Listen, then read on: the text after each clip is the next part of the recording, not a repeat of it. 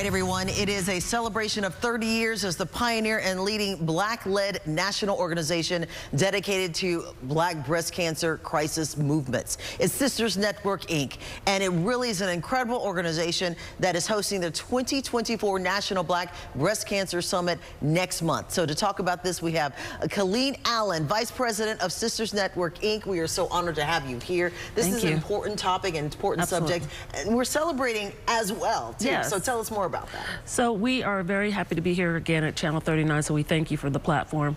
Sisters Network Incorporated is the national black breast cancer organization headquartered here in Houston Mm-hmm. proudly. We're celebrating our 30th anniversary. Wow, can you Um, believe it? We can't. And, and so we have been serving, of course, the greater Houston community, but across the country because we have 30 chapters around the country.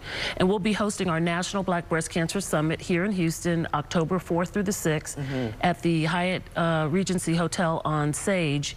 And so we encourage everyone, women, to come out. It is a free summit. We've got great medical experts who will share uh, the latest advances in breast health care uh, as it relates to black women and all women for that matter. Uh, representatives from MD Anderson, from uh, uh, Houston Methodist, uh, from Weill Cornell um, Presbyterian Hospital out of New York. So it's, it's a wonderful time to come and learn, to have that sisterhood, and to empower yourself so that you can protect yourself against breast cancer. I think that's wonderful. And of course, it's free. So remember that. Keep that in your mind. It's free.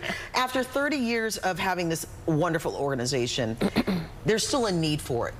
Sadly, but true. Sadly. So what is it that people are still afraid of and they're not maybe getting tested the way they should within our community that you're trying to bring a bigger light on too? Right.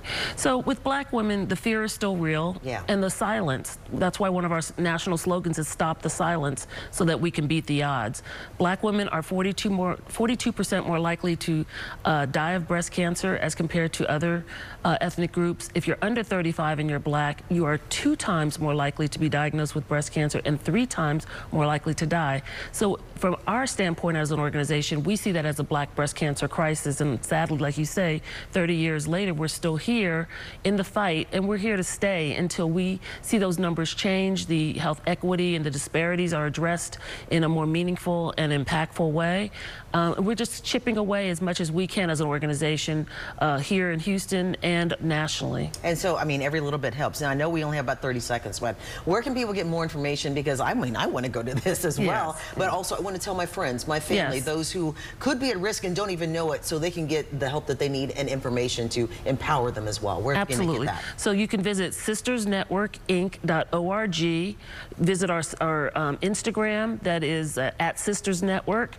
We're here. Just Google Sisters Network if you forget anything, and we will come up. We're the first organization to come up, and we um, have been in this fight since 1994, and we're here to stay. But come to the free National Black Breast Cancer Summit October 4th through the 6th. Again, empower yourself. We take time to get our lashes, our cute dresses, our hair done, but we need to save our own lives with the knowledge that's available to us. And take care of our health. Caleen, thank you so much as always. Absolutely. We appreciate it. And we'll have that all for you on our website, cw39.com as well.